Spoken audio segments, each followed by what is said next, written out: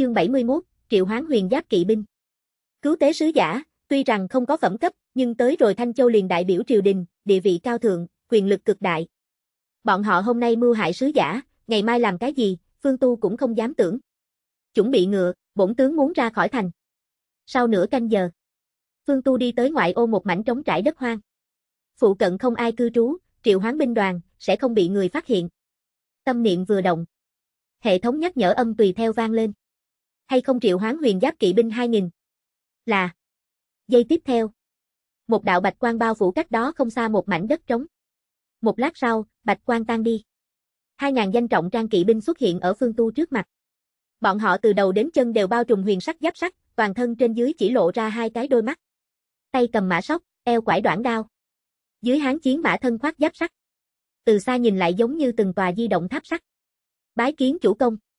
Hai ngàn huyền giáp kỵ binh khống chế chiến mã, đồng thời hành lễ, động tác đều nhịp, phản phất một người.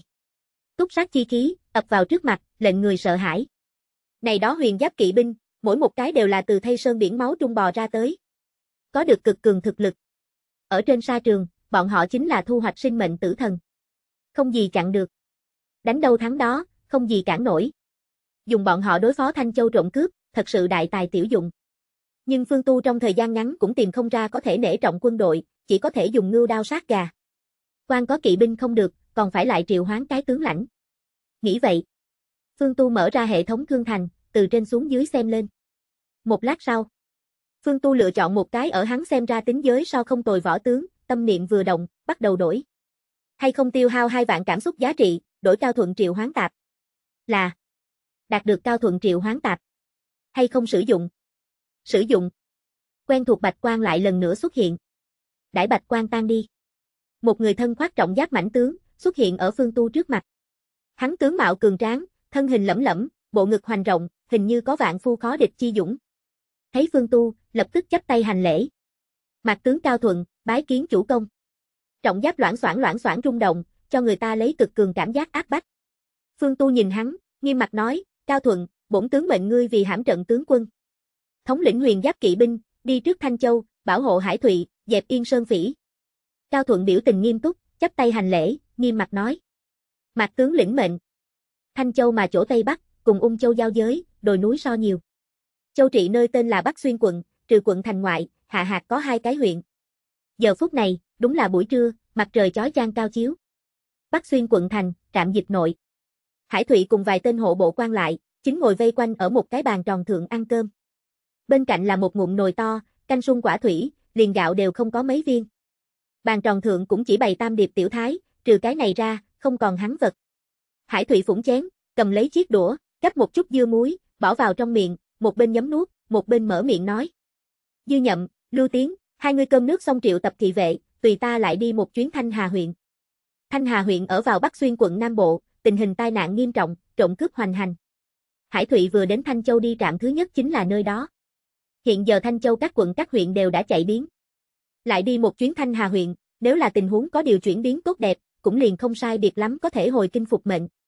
Là, đại nhân. Bị điểm đến tên quan lại lên tiếng, tiếp tục uống cháo. Nói là cháo, cùng thủy cũng không có gì khác nhau, đến uống cái mấy chén, mới có thể miễn cưỡng chắc bụng. Dù vậy, trên bàn cơm cũng không một người oán giận. Đảo không phải bọn họ không nghĩ oán giận, thật sự là ngượng ngùng mở miệng. Nhân gia hải đại nhân, thừa tướng thân mệnh cứu tế sứ giả, đốn đốn đều cùng bọn họ ăn giống nhau đồ vật, trên người quần áo lạng động, đến bây giờ cũng chưa bổ thượng. Là chân chính hai bàn tay trắng, đạo đức tốt. Bọn họ oán giận cũng vô dụng, hà tất tự mình chút lấy cực khổ. Không bằng tỉnh điểm sức lực, dùng ở cứu tế thượng. Vài tên quan lại đều là ý nghĩ như vậy, một cái kính vùi đầu uống cháo. Duy độc một người thanh niên buông xuống chén, ngước mắt nhìn về phía Hải Thụy, hỏi. Kia hạ quan đâu? Hải Thụy nhìn về phía tên kia thanh niên, ngữ khí bình thản nói, ngươi tiếp tục lưu tại quận thành, thủ kho lúa, mấy ngày nay đúng là thời điểm mấu chốt, không thể làm lỗi. Nói, đứng lên, đi đến nồi to bên, cho chính mình thêm một chén cháo, một bên uống, một bên nói. Vĩnh Tân, ta biết ngươi nghĩ ra thành cứu tế, nhưng trong coi kho lúa, sự tình quan trọng đại. Lời nói còn chưa nói xong, liền nghe được phía sau truyền đến vịt một tiếng. Tần Vĩnh Tân đem chén thật mạnh nện ở trên bàn, đằng một chút đứng lên, cả giận nói. Chuyện gì quan trọng đại, đều là tìm cớ. Khi kho lúa có thị vệ thủ, vì sao còn làm ta đi? Đừng cho là ta không biết ngươi như thế nào tưởng. Đơn giản cảm thấy ta là thượng thư nhi tử, là nha nội, tới cứu tế, chỉ là cấp lý lịch thêm một bút, tương lai hảo thăng quan. Ngươi kinh thường ta. Cho nên gì sự đều không cho ta làm. Nơi này người, trừ bỏ ta, cái nào không có ra khỏi thành cứu tế quá, theo ta một người, vẫn luôn lưu tại quận thành. Cứu tế cứu tế, chẩn đến bây giờ, liền cái nạn dân bóng dáng cũng chưa nhìn thấy. Này cũng kêu cứu tế. Chó má. Mọi người theo bản năng nhìn thoáng qua Tần Vĩnh Tân, lại thực mau cúi đầu, làm như cái gì cũng chưa nghe thấy. Hải Thụy phủng chén, quay đầu nhìn về phía Tần Vĩnh Tân, ngữ khí bình thản nói, bên ngoài trộm cướp hoành hành, lưu tại quận thành, không có gì không tốt. Tần Vĩnh Tân lớn tiếng nói, ta không sợ chết. Hải Thụy trầm mặt một lát, lại nói, ly kinh trước, ta đáp ứng quá Tần Đại Nhân, muốn đem ngươi hảo hảo mang về. Tần Vĩnh Tân cắn chặt răng, nói, hắn là cha ta, nhưng không thể khống chế ta hết thảy. Ta có thể đi đến hôm nay, cũng không phải dựa hắn. Ta là đức chính 19 năm nhị giáp tiến sĩ, ta. Hải Thụy xen lời hắn, trông coi kho lúa, cũng là cứu tế. Tần Vĩnh Tân nghe thấy lời này, con ngươi trở nên đỏ bừng, cắn chặt răng, quyết tuyệt nói.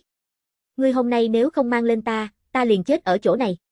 Hải Thụy nhìn hắn một cái, không nói gì. Tần Vĩnh Tân lại từ hắn đôi mắt thấy được quen thuộc ý vị.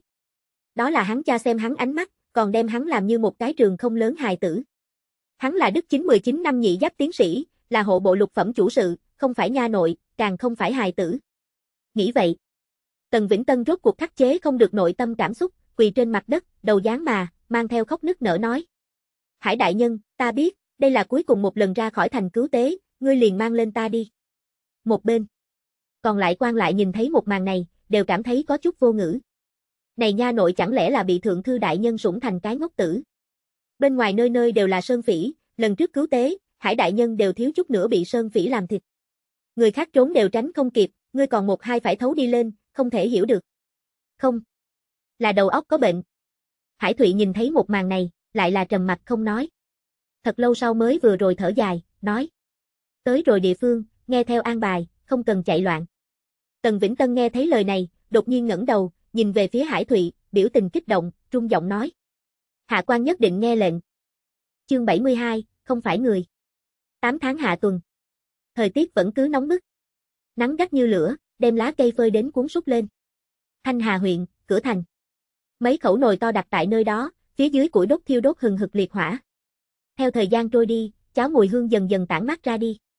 Tụ tập ở bốn phía nạn dân, các gao nhìn chằm chằm nồi to, không ngừng nuốt nước miếng. Nạn dân có lão nhân, có hài tử, càng nhiều vẫn là thanh tráng. Tất cả đều là đầu bù tóc rối, quần áo tả tơi, cốt xấu như sài.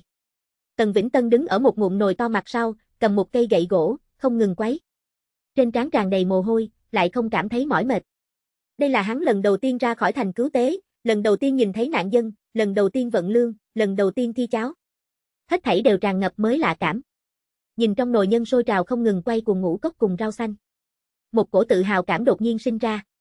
Giờ phút này, hắn ở cứu tế, mà không phải lưu tại quận thành thủ kho lúa, ăn không ngồi rồi. Một hồi lâu, cảm thấy trong nồi cháo, ngao không sai biệt lắm. Tần Vĩnh Tân buông gậy gỗ, đi đến Hải Thụy bên cạnh, nói, đại nhân, không sai biệt lắm. Ân. Hải Thụy gật gật đầu, nhìn về phía một bên lại viên, cho hắn sử một cái ánh mắt.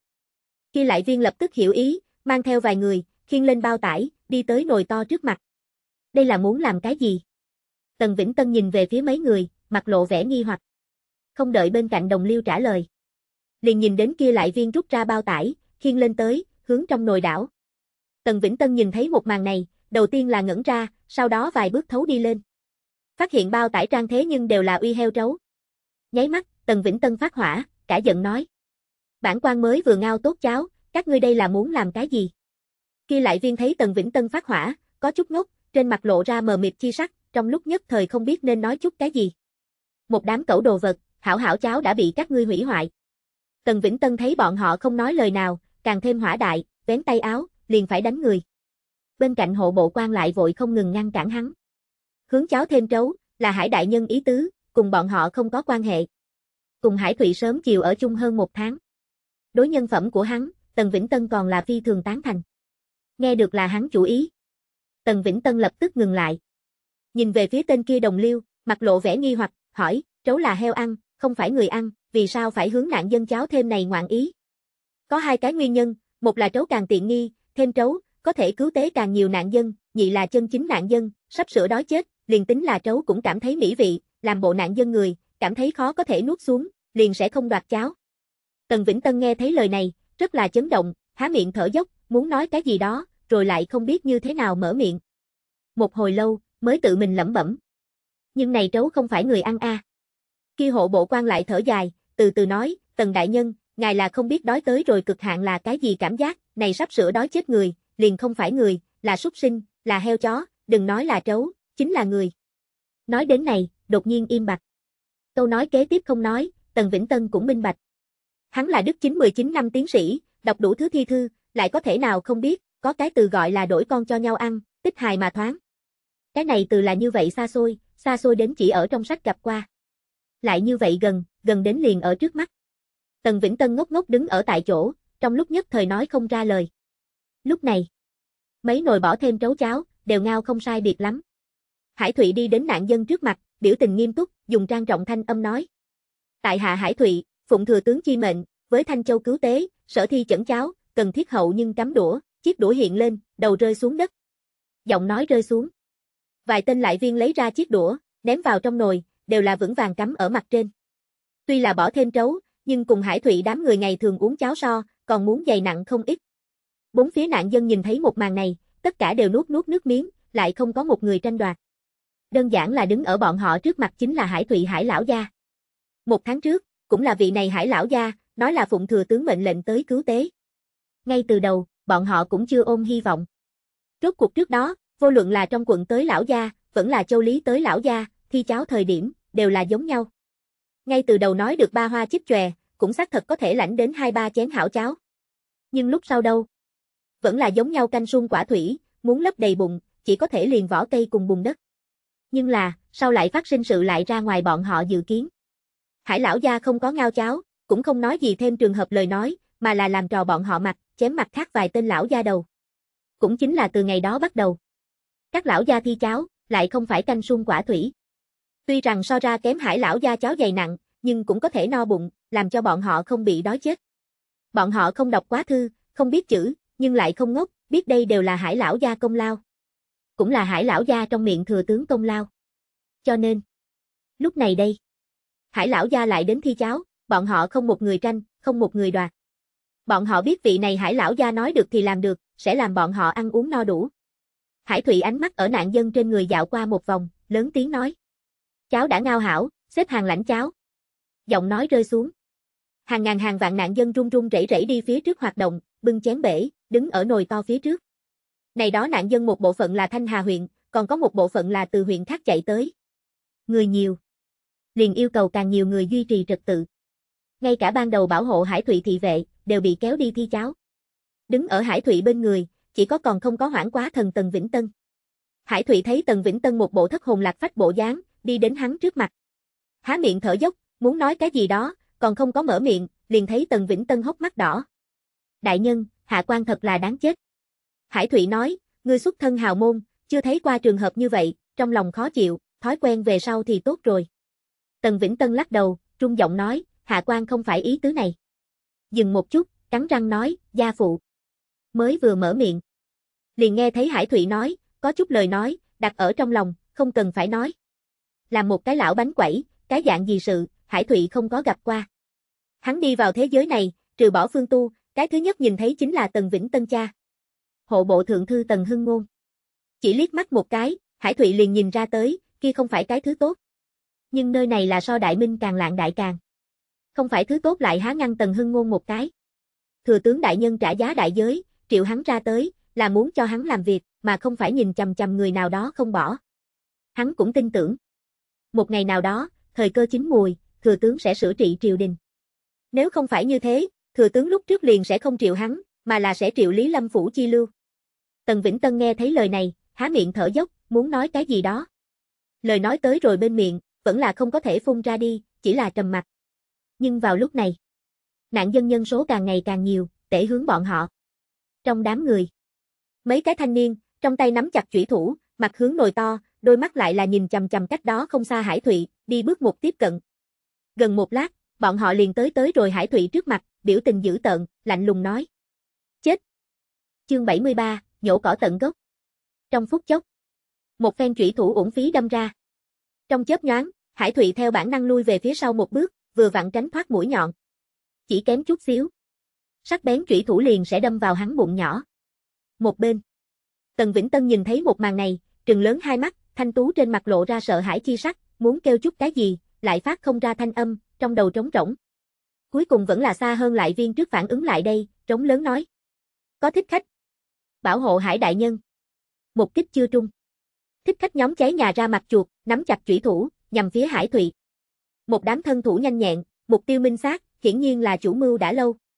Hải Thụy nhìn thấy một màn này, mặt lộ vẻ vẻ mặt phẫn nộ, lại cũng không có cậy mạnh, xoay người liền chạy. Đừng làm cho hắn chạy. Sát. Thích khách nhóm mặt lộ vẻ hung ác, nắm chặt chủy thủ, đuổi theo. Đặt nương. Đừng chặn đường A.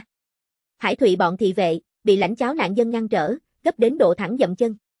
Lúc sau một đoạn thời gian, Thanh Hà huyện cửa thành trước, xuất hiện khó gặp kỳ ba một màn. Một người thân xuyên trường bào trung niên nam nhân, nắm chặt góc áo, hai chân mảnh đặng, chạy bay nhanh.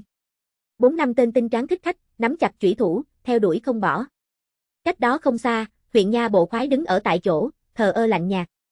Trong đám người, các hộ vệ lòng nóng như lửa đốt, dùng vỏ đao xua đuổi nạn dân.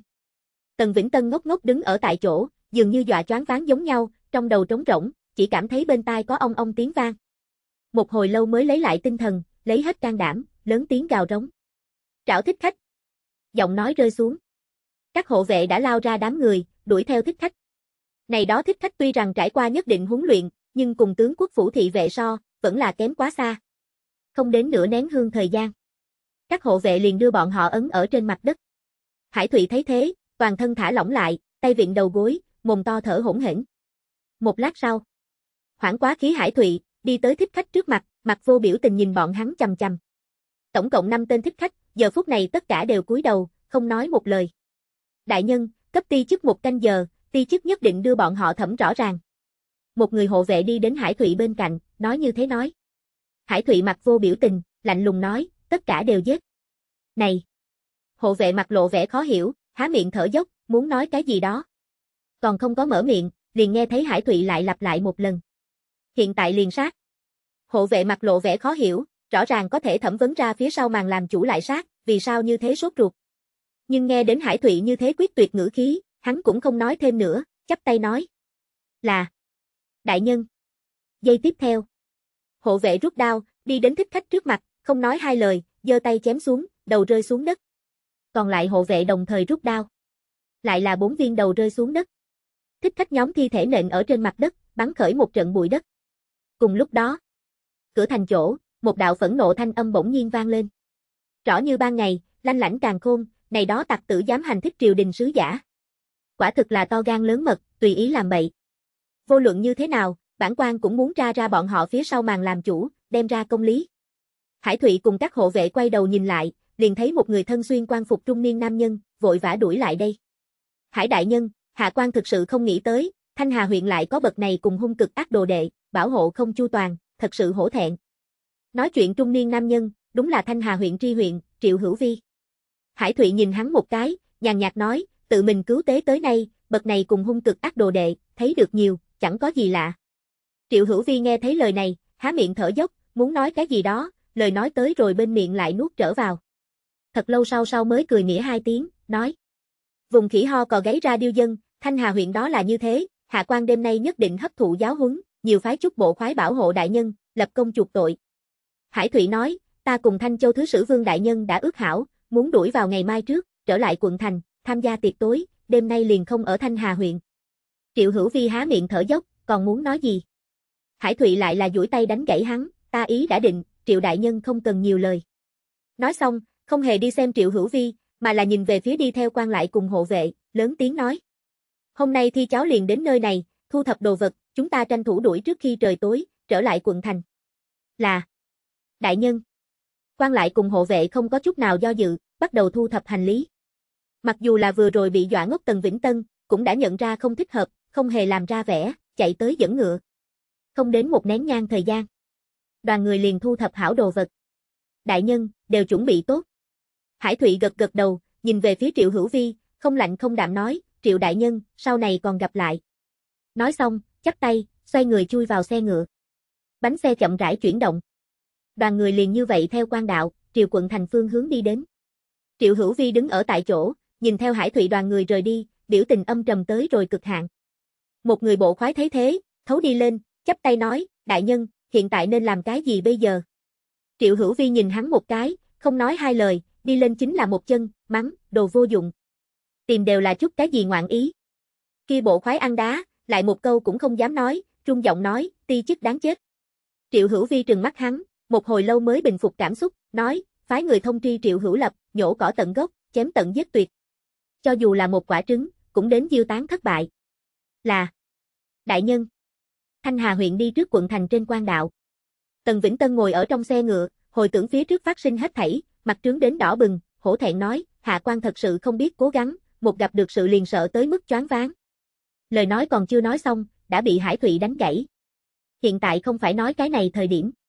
Tần Vĩnh Tân nao nao, do dự một chút, nói, đại nhân ý tứ là, kia họ triệu sẽ phái người đuổi giết chúng ta. Hải Thụy không có trả lời. Tần Vĩnh Tân thấy thế, tự mình lẩm bẩm, rõ như ban ngày, lại là quan đạo, hắn hẳn là không cái kia lá gan đi. Hải Thụy nhìn hắn một cái, nói, chó cùng rứt dậu, người tới cuối cùng một khắc, cái gì phát rồ sự đều làm được ra tới. Tần Vĩnh Tân mặt lộ vẻ khó hiểu. Hải Thụy cũng không cùng hắn giải thích, vén rèm lên, hỏi, nhiều ít. Hộ vệ nói, hồi đại nhân, khoảng cách Thanh Hà huyện đã có 20 dặm. Đã biết. Hải Thụy buông mành, nhìn về phía Tần Vĩnh Tân, hỏi, ngươi thuật cưỡi ngựa như thế nào? Tần Vĩnh Tân không rõ vì sao đột nhiên có này vừa hỏi, nhưng vẫn là trả lời nói, trung quy trung cũ. Hải Thụy nói, vậy ngươi ngồi ở mặt sau. Giọng nói rơi xuống, xe ngựa dần dần ngừng lại. Hải Thụy đi ra xe ngựa. Lấy ra trong lòng ngực chủy thủ, cắt đứt liên tiếp dây thừng. Một bên, hộ vệ lại cấp mã trồng lên an. Hải Thụy xoay người lên ngựa, nhìn về phía Tần Vĩnh Tân, vươn tay, nói, đi lên. Tần Vĩnh Tân ngẩn ra, không có do dự, cũng đi theo xoay người lên ngựa. Ngay sau đó, đoàn người lại bỏ xuống sở hữu quân nhu, triều tương phản phương hướng bay nhanh mà đi. Trên đường, Tần Vĩnh Tân vài lần tưởng nói. Thanh Châu Thứ Sử cùng Thanh Hà Tri huyện, cho dù có lại đại lá gan, cũng không dám trước mặt mọi người mưu hại triều đình phái hạ sứ giả. Đại nhân lại là bỏ xuống quân nhu, lại là thay đổi phương hướng, không khỏi có chút quá mức cẩn thận chặt chẽ. Nhưng nghĩ đến phía trước chính mình mất mặt biểu hiện. Hắn như thế nào đều ngượng ngùng khai cái này khẩu. Thẳng đến sau nửa canh giờ. Khoảng cách Thanh Châu trị sở càng ngày càng xa. Tần Vĩnh Tân rốt cuộc lấy hết can đảm, mở miệng nói, đại nhân, hạ quan cho rằng, kia Thanh Châu Thứ Sử cùng Thanh Hà Tri huyện cho dù có gan tày trời, cũng không dám mưu hại. Một câu còn chưa nói xong. Hai sườn trong rừng bỗng nhiên truyền đến tất tất tác tác tiếng vang. Ngay sau đó, đó là một trận ngập trời hét hò. Nhổ cỏ tận gốc. Không lưu người sống. Sát. Chương 74, đáng sợ trọng trang kỵ binh. Tần Vĩnh Tân theo bản năng quay đầu nhìn lại, thấy những người đó trang phục, trừng lớn hai mắt, miệng khẽ nhếch, khiếp sợ nói không nên lời lời nói. Mai phục tại trong rừng, kêu gào muốn chém thảo trừ tận gốc người, thế nhưng tất cả đều ăn mặc phủ binh quần áo. Dùng binh khí, cũng đều là chế thức trường đao. Những người này không phải sơn phỉ, cũng không phải bộ khoái. Là phủ binh. Bọn họ liền quần áo đều không có đổi mới, liền ở trên quan đạo chặn giết triều đình phái hạ sứ giả, quả thực là to gan lớn mật. Trong lúc nhất thời, Tần Vĩnh Tân thế nhưng tìm không ra một cái thích hợp từ, tới biểu đạt hắn giờ phút này khiếp sợ cùng phẫn nộ. Trên thực tế, không đợi hắn hoảng quá thần. Phủ binh nhóm đã vọt tới trước mặt, cùng hộ vệ chém giết ở bên nhau. Tướng quốc phủ hộ vệ, cắt lấy một chọi mười. Nhưng là, bãi ở bọn họ trước mặt, lại là mười mấy lần, mấy chục lần địch nhân. Những người này liền tính là dùng xa luân chiến, ma cũng có thể đem hộ vệ ma chết. Xong rồi, xong rồi, hôm nay khó thoát vừa chết. Đáng tiếc, chịu tổ tông che chở, đến chết cũng không thể lập hạ tất công, không cam lòng a. Đã trải qua phía trước sự. Tần Vĩnh Tân trưởng thành rất nhiều, giờ phút này đối mặt hẳn phải chết cục diện, đầu óc không hề là trống rỗng, thậm chí có vài phần bằng phẳng. Đôi khi, người chính là như vậy kỳ quái. Chỉ có chân chính đối mặt tử vong, mới có thể rõ ràng chính mình rốt cuộc là cái cái dạng gì người. Tần Vĩnh Tân giờ phút này rốt cuộc có thể xác định. Hắn không phải cái nhát gan sợ phiền phức phế vật nha nội. Hắn chỉ là bị bảo hộ quá hảo. Vĩnh Tân, lao ra đi sau, trước tiên báo cho thừa tướng, Thanh Châu phản. Tần Vĩnh Tân đang ở tự hỏi nhân sinh, bỗng nhiên nghe thấy Hải Thụy thanh âm, quay đầu nhìn lại, mới phát hiện hắn đã xoay người xuống ngựa. Nháy mắt hốc mắt đỏ. Hải đại nhân đến giờ phút này, còn đang suy nghĩ hắn cha nói. Đây là thư thượng nói, một lời nói một gói vàng trọng đi. Hải đại nhân, hạ quan không đi. Tần Vĩnh Tân mặt lộ vẻ kiên định, cũng xoay người nhảy xuống mã, lớn tiếng nói, hạ quan muốn cùng đại nhân ở bên nhau. Cách đó không xa. Một người giáo úy nhìn về phía bọn họ, cười nhạo một tiếng, kinh thường nói. Hai nam nhân, như thế làm ra vẻ, có ghê tởm hay không? Tần Vĩnh Tân trừng hướng tên kia giáo úy, mắng, gian tặc. Nghịch tặc. Ác tặc. An dám ở cha ngươi trước mặt, đại thả chó thí. Kia giáo úy ngẩn ra, hiển nhiên là không nghĩ tới một cái quan văn mắng chửi người cũng như vậy khó nghe.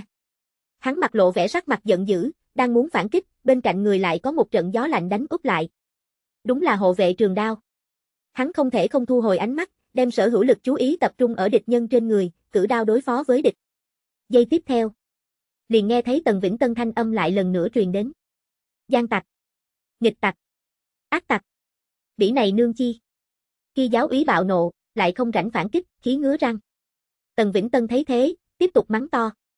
Thanh âm quanh quẩn, dừng ở mỗi cái phủ binh trong tai, làm cho bọn họ càng thêm buồn bực. Mai phục phủ binh có một hai ngàn người. Đi theo hải thụy thị vệ, chỉ có 50 nhiều người. Như thế cách xa nhân số trên lệch, bọn họ lại không có chiếm được một chút tiện nghi. Ngược lại là các hộ vệ giết đỏ cả mắt rồi, một đám dũng mãnh không sợ chết, tắm máu chiến đấu hăng hái, giết trời đất u ám. Trong lúc nhất thời, phủ binh nhóm nghe tức giận mắng, tay cầm trường đao, lại có chút không dám tiếp cận. Lúc này, cách đó không xa đô úy bỗng nhiên phát ra một tiếng gầm lên. Tru sát hải thụy giả, thưởng bạc trăm lượng. Nháy mắt, phủ binh nhóm giống như tim máu gà giống nhau, lại nhằm phía hải thụy. Sát. Các hộ vệ thấy thế, trong lòng trầm xuống, co rút lại trận hình, đem hải thụy vây quanh ở trung gian. Hải đại nhân, ti chức thất trách, hôm nay sợ là không thể hộ ngươi chu toàn. Một người hộ vệ cầm đao, hồng mắt, trong giọng nói lộ ra quyết tuyệt. Hải Thụy nghe thấy lời này, đôi mắt cũng phí trở nên đỏ bừng, trên mặt lộ ra ấy nấy chi sắc, thanh âm có chút phát run. Các ngươi làm được thực hảo, là ta Hải Thụy thực xin lỗi các ngươi.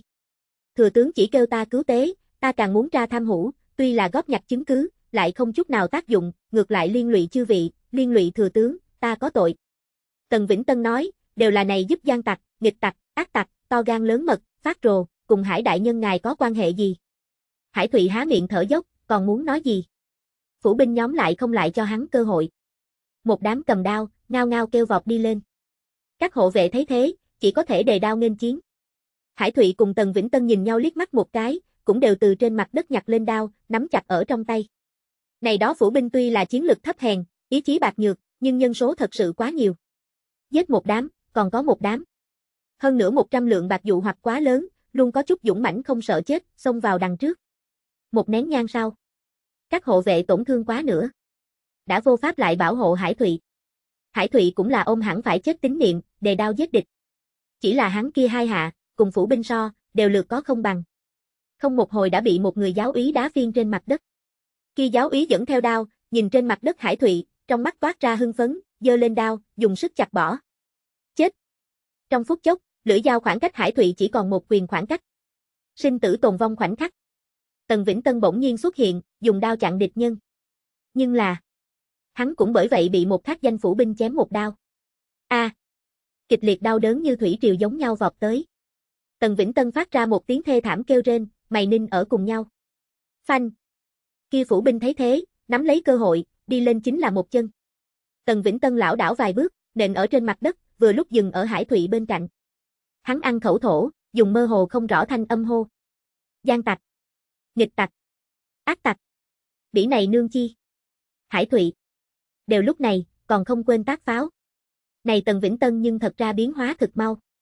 Chết đã đến nơi, còn đặt nương quỷ kêu. Giáo ý mặt lộ vẻ sắc mặt giận dữ, đề đao tiến lên, cao cao dơ lên, cả giận nói. Lão tử hôm nay liền trước giết ngươi. Đao chưa rơi xuống. Mặt đất bỗng nhiên chấn động lên. Giáo ý cảm nhận được chấn động, đầu tiên là ngẩn ra, ngay sau đó mày hơi hơi nhăn lại, nhìn về phía nào đó phương hướng. Cuối.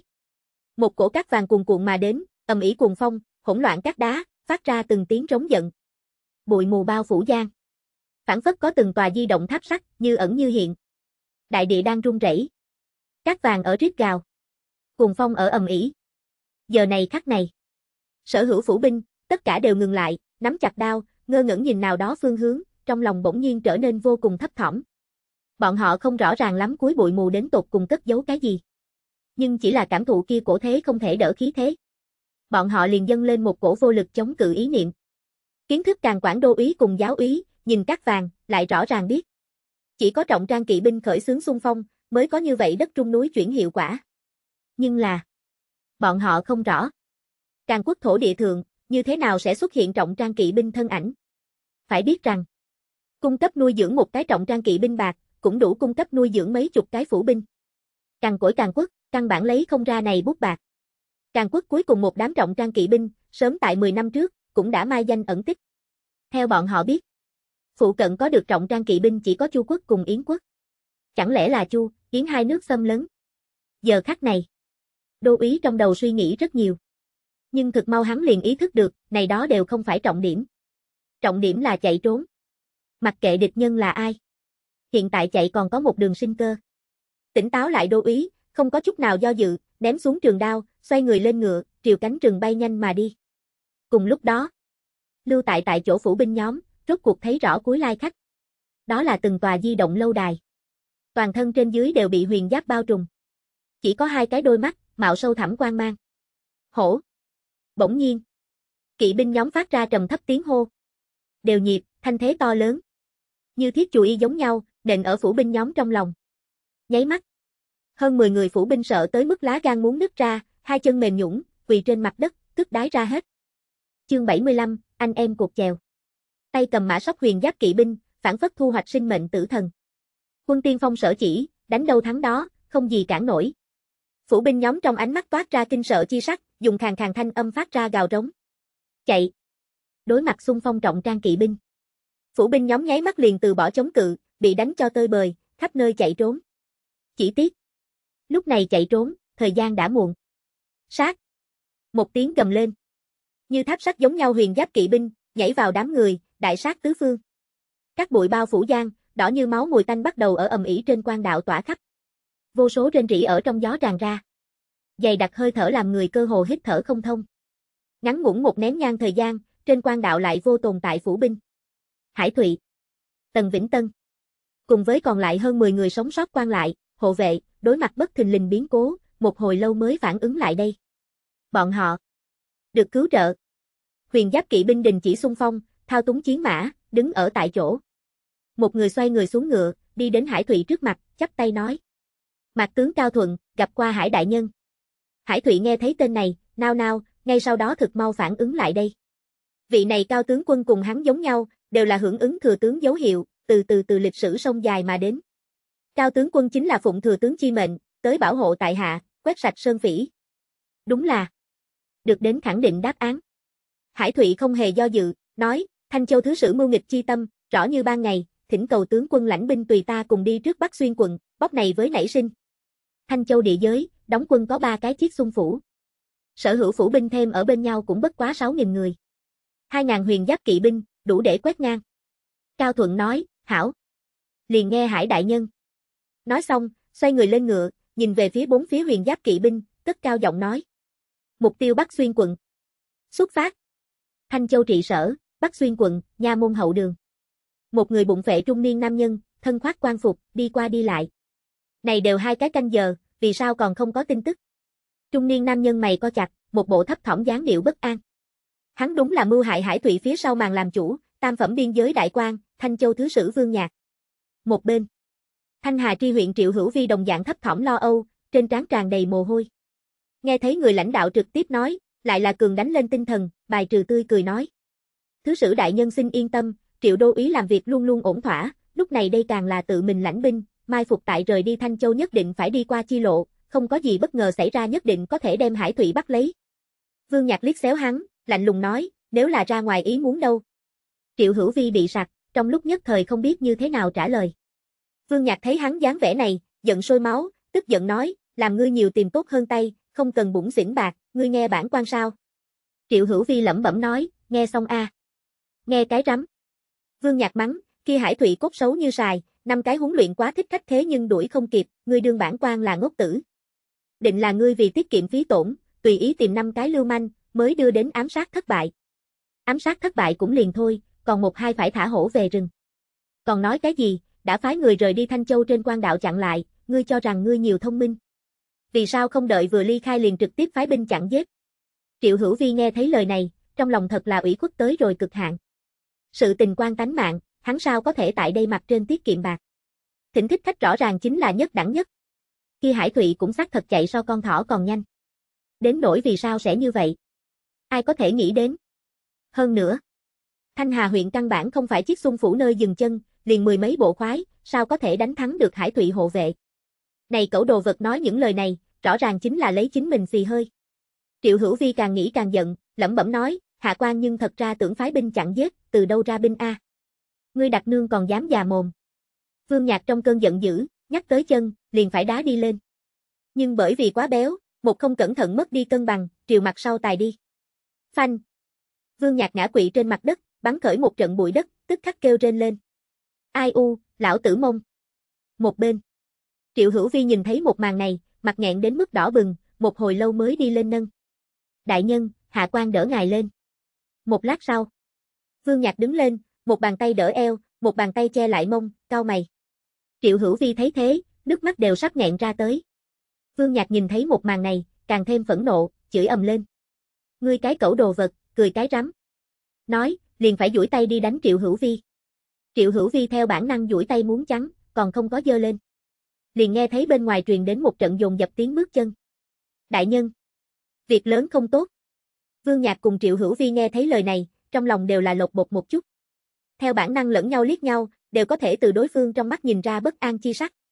Đại nhân, ngoài thành tới một chi mặt giáp kỵ binh, hùng hổ, đang ở công thành. Vương Nhạc chấn động, nói, ta đại càng khi nào cung cấp nuôi dưỡng một chi mặt giáp kỵ binh, bản quan như thế nào không biết. Dẫn đầu chính là ai? Nhưng thấy rõ. Lại viên thở hỗn hển, một hồi lâu mới bằng phẳng xuống dưới, trả lời, là Hải Thụy. Đáng chết. Vương Nhạc nháy mắt ý thức được tình huống không đúng, cho mày, bắt đầu suy tư ứng đối chi sách.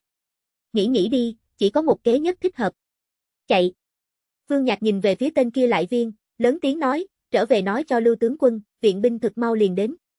Bản quan sẽ cùng hắn cùng nhau tắm máu chiến đấu hăng hái. Người ở thành ở.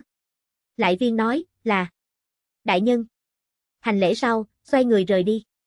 Vương Nhạc nhìn hắn bóng dáng biến mất ở trong tầm mắt, không nói hai lời bắt đầu thoát quan bào. Một bên. Triệu Hữu Vi còn ở nghi hoặc. Vương Đại Nhân, từ đâu ra viện binh? Vương Nhạc trừng mắt nhìn hắn liếc mắt một cái, tức giận mắng, ngu xuẩn. Có cái rắm viện binh. Còn không mau chạy. Triệu Hữu Vi ngẩn ra, buộc miệng thốt ra nói, kia ngài vì sao làm lưu tướng quân nhất định bảo vệ cho. Ngươi đầu óc làm lừa đạp. Hắn không ở phía trước đỉnh. Ngươi ta như thế nào chạy trốn? Vương Nhạc dẫm lên quan bào, như thế nào cũng thoát không xuống dưới, chỉ hảo xem hướng Triệu Hữu Vi, tức giận nói. Mau tới giúp bản quan. Nga nga. Triệu Hữu Vi thấu đi lên giúp hắn, đầu óc còn có chút ngốc. Một hồi lâu mới phản ứng lại đây. Vương Đại Nhân đây là đem lưu tướng quân bán. Đại Nhân, lưu tướng quân nói như thế nào cũng là ngài anh em cuộc chèo, ngươi làm như vậy, có thể hay không có chút. Vương Nhạc trừng mắt nhìn hắn liếc mắt một cái, mắng, bản quan xem ngươi đầu óc là thật sự hỏng rồi. Anh em cuộc chèo lại như thế nào, có mệnh quan trọng. Ngươi nếu là đáng thương hắn, ngươi đi thế hắn thủ thành. Triệu Hữu Vi nghe thấy lời này, tức khắc trầm mặt. Đúng lúc này, bên ngoài bỗng nhiên truyền đến một trận ồn ào ầm ĩ thanh. Ngay sau đó, môn bị người từ bên ngoài đá văng. Một đạo hùng hậu thanh âm bỗng nhiên truyền đến. Một gian gian nhà ở lục soát, tuyệt đối không thể làm vương nhạc kia cẩu tặc chạy. Triệu Hữu Vi nghe thấy thanh âm, nao nao, thầm nghĩ, thanh âm này như thế nào như vậy quen thuộc. Giây tiếp theo, hắn bỗng nhiên phản ứng lại đây. Nói chuyện chính là vương thứ sử anh em cột chèo. Bắt xuyên chiếc xung tướng quân, lưu sấm. Chương 76, đúng lý hợp tình. Này! Triệu hữu vi sắc mặt cổ quái, theo bản năng nhìn về phía một bên vương nhạc. Vương nhạc hiển nhiên cũng nghe ra là lưu sấm thanh âm, sắc mặt giống ăn tường giống nhau khó coi. Giây tiếp theo. Lưu sấm đi vào nhà ở, nhìn chung quanh một vòng, lập tức đem ánh mắt tỏa định ở vương nhạc trên người. Muội, muội phu. Vương nhạc nhìn chính mình anh em cột chèo, bài trừ một mặt lấy lòng tươi cười. Có hiểu lầm. Vừa dứt lời. Liền nghe thấy một tiếng gầm lên. Ai là ngươi muội phu? Có cái rắm hiểu lầm. Ngươi cái vô quân vô phụ, bất trung bất nghĩa cẩu tặc. Nhắm lại ngươi miệng chó. Liên tiếp phát ra, làm vương nhạc tức giận đến nói không nên lời lời nói. Ngươi, ngươi. Ngươi cái gì ngươi? Lưu Sấm căn bản không cho hắn nói chuyện cơ hội, đề cao âm điệu, cả giận nói, ngươi thân là Thanh Châu Thứ Sử, tam phẩm biên giới đại quan, vốn nên làm quan mặt cho, tạo phúc một phương. Lại phát rồ, tham ô thuế ruộng, ức hiếp bá tánh. Thượng thực xin lỗi bệ hạ cùng thừa tướng, trung thực xin lỗi liệt tổ liệt tông, hạ thực xin lỗi sáng sớm bá tánh. Nói ngươi là vô quân vô phụ, bất trung bất nghĩa đều tiện nghi ngươi. Ngươi quả thực chính là tội ác tày trời. Là súc sinh. Cầm thú. Heo chó. Vương Nhạc nghe thấy lời này, tức giận đến đầu say xe, vương ra ngón tay lưu sấm, trung giọng nói, ngươi, ngươi. Ngươi nửa ngày, còn chưa nói ra lời nói tới, liền nghe thấy lưu sấm nói. Người tới. Đem này tặc bắt lấy. Giao cho hải đại nhân. Là. Vài tên phủ binh tiến lên, ấn xuống vương nhạc, đem hắn hướng bên ngoài túng. Lúc này, vương nhạc rốt cuộc khôi phục ngôn ngữ năng lực, cả giận nói, lòng lan dạ sói đồ vật. Ngươi cho rằng như vậy, Hải Thụy là có thể tha cho ngươi một mạng. Nằm mơ đi thôi. Ngươi chính là đem lão tử mắng heo chó không bằng, kia Hải Thụy nên sát, còn giống nhau giết ngươi. Không có cốt khí đồ vật. Hai mặt, sau lưng xuống tay. Bản quan lúc trước liền không nên đem tiểu uyển gả cho ngươi. Lưu Sấm kinh thường nói, nếu bàn về hai mặt, sau lưng xuống tay, ai có thể so được với ngươi cái cẩu tặc. Bản tướng quân liền tính bất tử ở hải đại nhân trong tay, cũng nhất định sẽ chết ở trong tay của ngươi. Một khi đã như vậy, vì sao không buông tay đánh cuộc? Vương Nhạc nghe thấy lời này, trong lúc nhất thời lại là không lời gì để nói. Một bên. Triệu Hữu Vi nghe thấy hai người đối thoại, miệng khẽ nhếch, rất là chấn động. Này một đôi anh em cột chèo thật đúng là. Cao Sơn Lưu Thủy, tình như thủ túc A. Liền ở hai người đấu võ mồm thời điểm. Nha môn ngoại bỗng nhiên truyền đến một trận vó ngựa lộc cộc thanh. Ngay sau đó, liền có một đám trọng giáp thị vệ vọt tiến vào, khống chế được cục diện. Lưu Sấm nhìn những cái đó trọng giáp thị vệ, lập tức ý thức được, Hải Thụy tới rồi. Hắn quay đầu, bước nhanh tiến lên, ấn xuống anh em cột chèo bả vai, đối với hắn đầu gối, đi lên chính là một chân. Quỳ xuống. Vương Nhạc ăn đau, kêu trên một tiếng, bùng quỳ gối trên mặt đất. Lưu Sấm ấn hắn, nhìn về phía cửa một bộ rách nát áo dài trung niên nam nhân, lớn tiếng nói. Hải đại nhân. Tội phạm đã bị mạc tướng bắt. Xin hỏi xử trí như thế nào? Hải Thụy lạnh lùng nhìn hắn, bàn tay vung lên, nói. Bắt lấy. Là. Vài tên trọng giáp thị vệ đề đao tiến lên, đặt tại Lưu Sấm ba người trên cổ. Lưu Sấm thấy thế, còn muốn hấp hối giải dụa, lớn tiếng nói, đại nhân, mưu hại ngài sự, đều là vương nhạc kia cẩu tặc một tay mưu hoa, mặt tướng hoang uổng a. Hải Thụy căn bản không nghe, lại là phất tay. Mang đi. Là. Đại nhân. Một canh giờ sau. Nha môn đại đường. Hải Thụy ngồi ở bàn sau, một phách kinh đường, lạnh lùng nói. Vương Nhạc, Triệu Hữu Vi, Lưu Sấm, các ngươi cũng biết tội. Vừa dứt lời. Lưu Sấm liền quỷ khóc sói gào lên. Mặt tướng oan uổng a. Thanh Hà tri huyện Triệu Hữu Vi biết chính mình vị ti ngôn nhẹ, lại phạm phải bậc này tội lớn, cải cọ cũng không ý nghĩa, chỉ là cúi đầu, không nói một lời.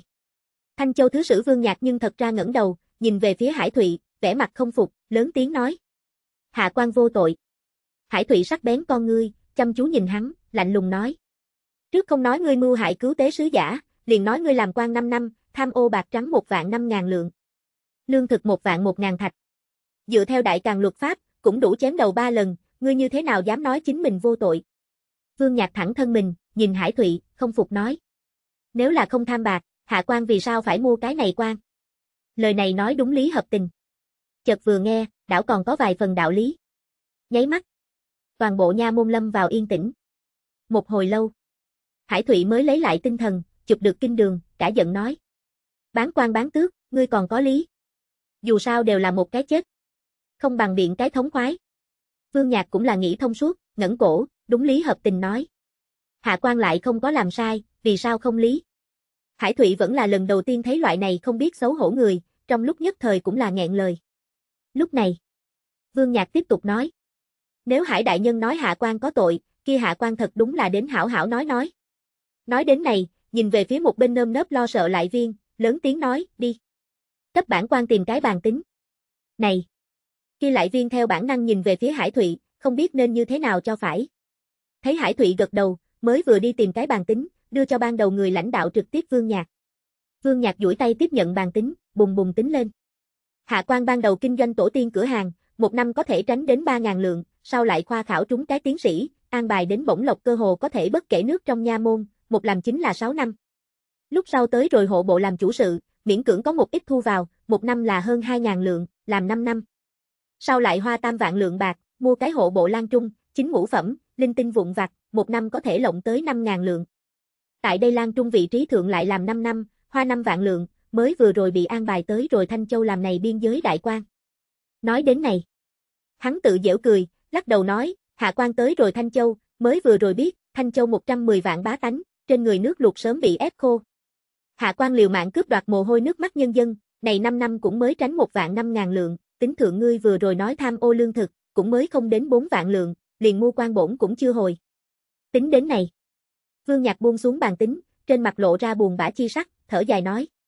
Tính đến tính đi, hạ quan khổ độc 10 năm, phập phập phòng phòng, lo lắng đề phòng, đi đến hôm nay đã là thứ 21 cái năm đầu, tránh đến bạc, lại vẫn không bằng vẫn luôn kinh doanh tổ tiên cửa hàng.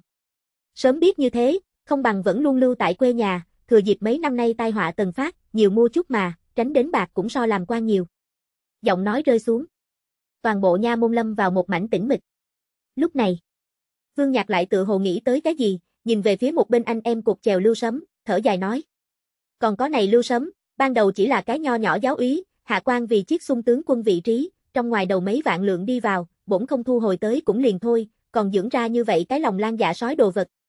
Lưu Sấm nghe thấy lời này, tức khắc nổi giận, mắng. Cẩu đồ vật, ngươi nói ngươi. Xã bản tướng quân làm cái gì? Một cái chiếc xung tướng quân vị trí, nhiều nhất một vạn lượng. Còn mấy vạn lượng bạc, như thế nào không nói mấy trăm vạn lượng. Vô tâm không phổi đồ vật. Lão tử là ngươi tỷ phu. Tỷ cái rắm phu. Phi. Phi.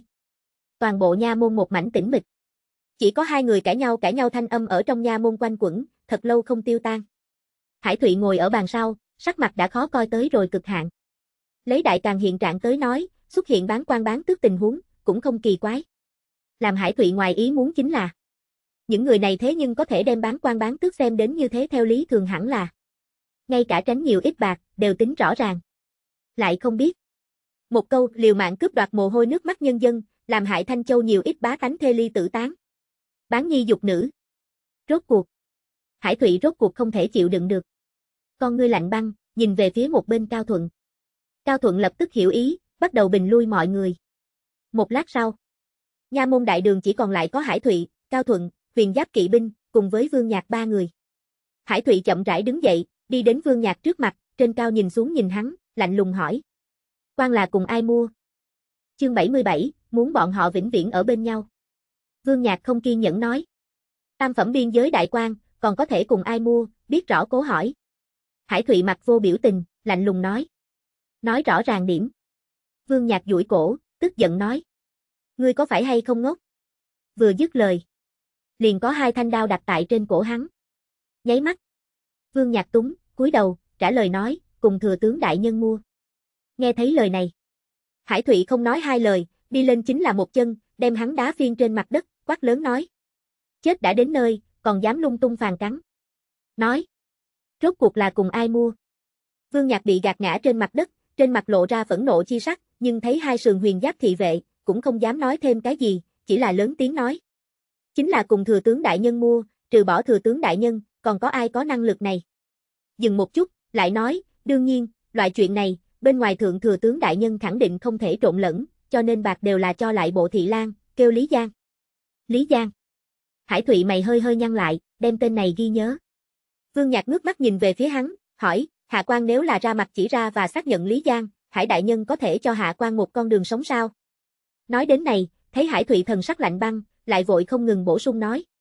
Đương nhiên, Hạ quan tránh bạc, cũng đều có thể giao cho Đại Nhân. Thấy Hải Thụy vẫn là không dao động. Hắn chụp một chút đầu mình, mắng, thật là cái ngu xuẩn, chết đã đến nơi, lại làm bút thâm hụt tiền mua bán. Hải Thụy hừ lạnh một tiếng nói, giao ra mua quan chứng cứ, nhưng thật ra có thể cho ngươi khỏi bị da thịt chi khổ. Vương Nhạc nói, loại sự tình này, nào có cái gì chứng cứ. Hải Thụy nhìn hắn, mặt lộ vẻ suy tư nói.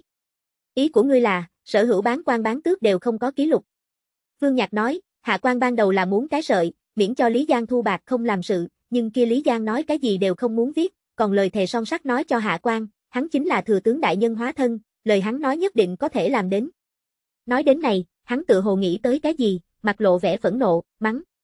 Hiện tại suy nghĩ một chút, vẫn là kêu Lý Giang kia cẩu đồ vật hố. Thanh Châu này thâm sơn cùng cốc, người khác tư lịch đủ rồi đều không muốn lại đây, hắn lại hống hạ quan nói cái gì ba năm hồi bổn, hồi cái rắm bổn. Thấy Vương Nhạc nói được ra dáng ra hình, không giống như là ở vô căn cứ. Hải Thụy trong lòng đã hiểu rõ, nhìn về phía một bên Cao Thuận, cho hắn xử một cái ánh mắt. Cao Thuận lập tức hiểu ý, mang theo huyền giáp kỵ binh, đi lên trước, đem ba người túng lên. Đi. Đi đâu? Vương Nhạc ba người có chút ngốc. Cao Thuận cũng không trả lời, túng bọn họ tới rồi hậu đường không người nhà ở. Ngay sau đó, liền nghe thấy vịt một tiếng, thứ gì nện ở trên mặt đất, lăn lộn lên. Một lát sau, Cao Thuận về tới chính đường, nhìn về phía Hải Thụy, nói. Hải đại nhân, sự đã làm thỏa đáng. Hải Thụy mặt vô biểu tình, gật gật đầu, đi đến bàn sau, lấy ra một trương giấy, đề bút viết thư. Một nén nhang sau. Hắn buông bút, cầm lấy trang giấy, thổi thổi nét mực, chiếc hảo, đưa tới Cao Thuận trên tay. Cao tướng quân, thỉnh đem này phong thư giao cho thừa tướng đại nhân trên tay, trăm triệu không thể làm những người khác thấy. Cao Thuận duỗi tay tiếp nhận thư từ, bỏ vào trong lòng ngực, chắp tay nói. Hải đại nhân yên tâm. Mặt tướng nhất định làm thỏa đáng. Hai ngày sau. Trường An Thành, tướng quốc phủ. Một trận thanh phong thổi qua, lá cây rào rạc rung động. Nằm ở ghế bập bên thượng phương tu, cảm thấy một trận thích ý. Một bên. Đắc kỷ vương nhỏ dài nhu di, lột một quả quả nho, nhẹ nhàng đặt ở phương tu bên miệng, giọng nói êm ái, chủ nhân há mồm. Phương tu há mồm, đem quả nho nuốt vào trong miệng, một bên nhấm nuốt một bên nói. Mấy ngày nay tẩn ăn quả nho, làm phía dưới người cũng chuẩn bị điểm mặt khác trái cây. Ân. Đắc kỷ gật gật đầu, vũ mị con ngươi, nhìn hắn khuôn mặt, trong đầu không khỏi hiện ra trong thoại bản cảnh tượng, trắng nõn khuôn mặt hiện ra một mặt đỏ ửng. Cuối người đem đầu nhỏ, dán ở phương tu bụng nhỏ, dùng thanh triệt thả ôm nhu thanh âm nói. Chủ nhân có thể hay không làm người đem, phong thần truyện, kết cục sửa lại. Phong thần truyện chính là phương tu lần đó rút thăm trúng thưởng, trừ đến 24 kinh điển danh tác trung một quyển. Đắc kỹ ngày thường thích nhất xem, thường thường đọc nhập thần. Nghe thấy lời này. Phương tu cúi đầu nhìn về phía kia trương vũ mị khuôn mặt nhỏ, trong lòng bỗng nhiên rung động một chút, khóe miệng gợi lên tươi cười. Biết rõ cố hỏi nói, vì sao phải sửa? Đắc kỹ giọng nói êm ái, đừng làm tiểu hồ ly cùng thừa tướng tách ra, cũng đừng làm bọn họ chết. Nói đến này, nàng tự hồ nghĩ tới cái gì, con ngươi trở nên ngập nước, nói, muốn cho hai người bọn họ vĩnh viễn ở bên nhau. Phương Tu duỗi tay khẽ vuốt nàng đầu nhỏ, cười nói, chỉ là thoại bản thôi, sửa lại cũng không ý nghĩa. Đắc kỹ hừ hừ nói, vì sao sở hữu thoại bản đều phải viết loại này kết cục, dạy người nhìn phiền muộn. Tiểu hồ ly cùng thừa tướng rõ ràng đều đã qua thượng không biết xấu hổ sinh hoạt. Lúc này kết cục, giai đại vui mừng. Cố tình muốn cho hai người bọn họ cộng phó hoàng tuyền. Mỗi lần nghĩ đến này kết cục, đắc kỹ đều cảm thấy tâm tình phiền muộn, liền trân bảo trai sinh ý đều không muốn làm. Phương Tu cười nói, là ngươi đem chính mình đại nhập tiểu hồ ly, mới cảm thấy phiền muộn, nếu là bình thường bá tánh nhìn đến yêu hồ, gian tướng bị giết, liền cảm thấy đại khoái nhân tâm. Nghe thấy lời này, Đắc kỹ không tỏ ý kiến, chỉ là đem đầu nhỏ dán đến càng khẩn, nhỏ giọng nói. Nhân gia mặc kệ, liền phải sửa. Nói đến này. Nàng bỗng nhiên đứng dậy, vũ mị con ngươi nhìn Phương Tu, hồng khuôn mặt nhỏ, dùng mũi giống nhau thanh âm nói. Nếu là chủ nhân đáp ứng nhân gia, nhân gia liền đáp ứng chủ nhân, dùng. Câu nói kế tiếp còn chưa nói ra tới. Sân ngoại bỗng nhiên truyền đến một trận ho khang thanh. Khụ khụ. Phương Tu cùng đắc kỷ đồng thời quay đầu nhìn lại. Một bộ bạch sam thượng quan hải đường đứng ở nơi đó, cúi đầu, nắm tay ho khan. Đắc kỷ thấy là nàng, lại quay đầu, cúi người ở phương tu bên tai, đem nói cho hết lời. Sau đó, đỏ mặt, đứng dậy về tới chính mình nhà ở. Khụ khụ. Phương tu nghĩ đến đắc kỷ lời nói, một trận tâm viên ý mã, thiếu chút nữa bị nước miếng sặc đến, hận không thể hiện tại liền phó chư thực tiễn. Nhưng hắn cũng biết, thượng quan hải đường lúc này xuất hiện, nhất định là có việc gấp Đứng lên, đi đến nàng trước mặt, hỏi, chuyện gì? Thượng quan hải đường từ trong lòng ngực lấy ra một phong thư từ, đôi tay trình lên, nói, Thanh Châu truyền đến tin, Hải Thụy viết. Ân. Phương Tu duỗi tay tiếp nhận thư từ, mở ra về sau, từ trên xuống dưới nhìn lên. Cùng lần trước giống nhau. Tin nội dung rất nhiều, không có vô nghĩa, đều là hàng khô. Ngay từ đầu giảng chính là cứu tế thành quả. Sau đó là Thanh Hà huyện trải qua, cùng với Cao Thuận đuổi ở cuối cùng một khắc, thành công cứu bọn họ. Viết đến này. Hải Thụy còn biểu đạt đối thừa tướng đại nhân cùng Cao Thuận tướng quân ân cứu mạng cảm kích. Ngay sau đó, chuyện vừa chuyển. Bắt đầu miêu tả ở Bắc Xuyên quận Nha Môn, thẩm vấn Thanh Châu Thứ Sử Vương Nhạc cảnh tượng. Trọng điểm nói kia Vương Nhạc làm trò mọi người mặt, lấy ra bàn tính, tính toán mua quan phí tổn cùng thu vào.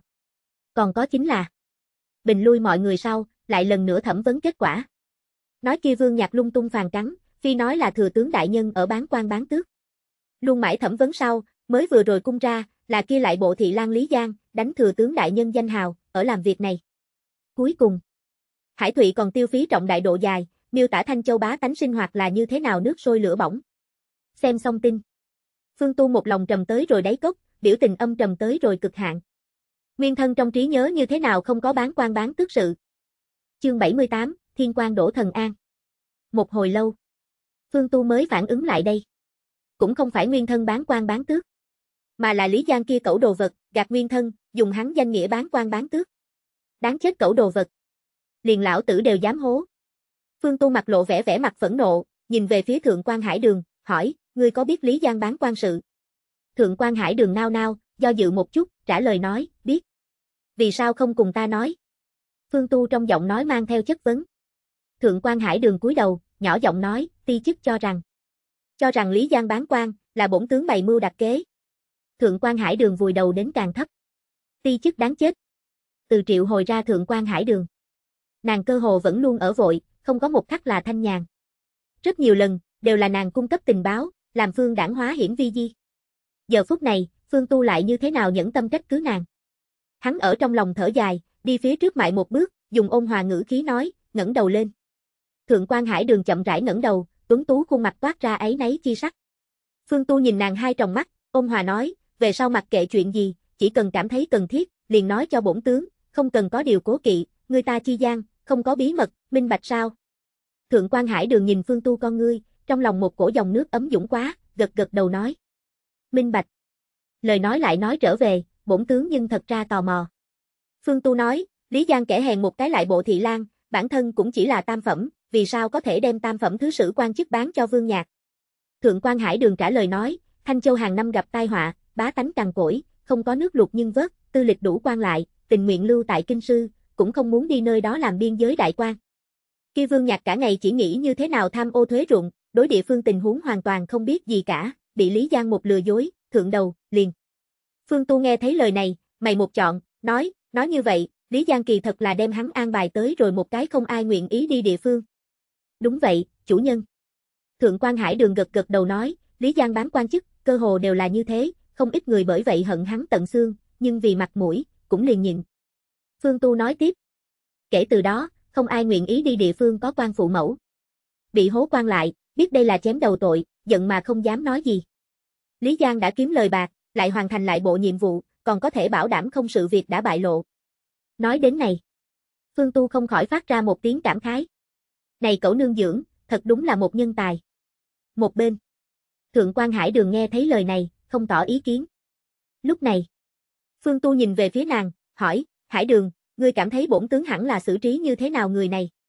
Thượng quan Hải Đường nghĩ nghĩ, nói, ti chức cho rằng, hẳn là y luật xử trí, cách chức điều tra. Phương Tu khóe miệng gợi lên một mặt cười lạnh, nói. Cách chức điều tra, tiện nghi hắn. Này cẩu đồ vật, đánh bổn tướng danh nghĩa bán quan bán tước, sưu cao thế nặng, chỗ tốt hắn vớt, hắc qua bổn tướng bối. Nếu không phải Hải Thụy một phong thơ, bổn tướng đến bây giờ còn không biết, này cẩu đồ vật là bổn tướng hóa thân. Chơi ưng làm ưng mổ mắt. Mất mặt. Phương Tu càng nói càng khí, cả giận nói, xét nhà. Cần thiết xét nhà. Hắn không phải đánh bổn tướng danh nghĩa tránh bạc, kia này đó bạc như thế nào kiếm, phải như thế nào nhổ ra. Một khối gạch đều không cần cho hắn lưu. Nghe thấy lời này. Thượng quan Hải đường tuấn tú khuôn mặt toát ra một mặt lãnh khốc, hành lễ nói, ti chức minh bạch. Nói xong, xoay người liền phải rời đi. Đợi lát nữa. Phương Tu lại gọi lại nàng, hỏi, Đỗ Thần An có biết hay không việc này? Đỗ Thần An là lại bộ thượng thư tên, cũng là phương đảng thành viên trung tâm chi nhất. Chuẩn xác mà nói, là phương đảng đệ nhị hào nhân vật. Thượng quan Hải đường nghĩ nghĩ, trả lời nói, hẳn là biết đến. Phương Tu hỏi, vì sao? Thượng quan Hải đường nói, hắn tuy rằng không có tham dự trong đó, nhưng thường xuyên thu lý gian bạc, hẳn là hiểu biết một ít nội tình. Phương Tu nghe thấy lời này, mày hơi hơi nhăn lại, suy tư một lát sau nói. Trước đừng cử động Lý Giang, phái người nhìn chằm chằm lại bộ, có động tĩnh gì, lập tức bẩm báo. Là, chủ nhân. Lại bộ nha môn. Chính đường. Một người thân khoan thể béo trung niên nam nhân quỳ trên mặt đất, trên mặt tràn đầy thấp thỏm bất an, trung giọng nói, bộ đường đại nhân, ngài nhưng nhất định phải cứu ta a. Đỗ Thần An ngồi ở ghế thái sư, trên cao nhìn xuống nhìn hắn, bưng lên một ly trà, nhấp một ngụm, không lạnh không đạm nói, chuyện gì như thế hoảng loạn. Lý Giang hạ giọng nói, kia sự kiện đã phát. Đỗ Thần An già nua trên mặt lộ ra nghi hoặc chi sắc, di một tiếng, nói, ngươi lời này, bản quan liền nghe không rõ, cái gì gọi là sự đã phát.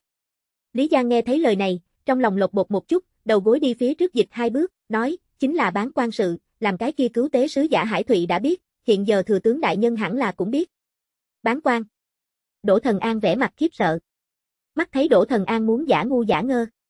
Lý Giang lập tức nói, Hạ quan mấy năm nay nhưng không thiếu cấp bộ đường đưa bạc, này đó bạc đều là bán quan đoạt được, mỗi một bút đều có ký lục. Ý tứ là, đừng nghĩ quyệt nợ. Ngươi nếu là không giúp ta, ta đem sổ sách giao cho thừa tướng đại nhân nơi đó, mọi người đều đến chết. Nghe thấy lời này, Đỗ Thần An sắc mặt lập tức âm trầm xuống dưới, lạnh lùng nói, vậy ngươi tưởng làm sao bây giờ? Lý Giang thấy hắn nhả ra, trên mặt lộ ra kích động chi sắc, nói, bộ đường thân cư địa vị cao, ở trên triều đình địa vị chỉ ở sau thừa tướng, chỉ cần bộ đường ở thừa tướng trước mặt vì hạ quan cầu tình, hạ quan này mạng nhỏ hẳn là vẫn là có thể giữ được.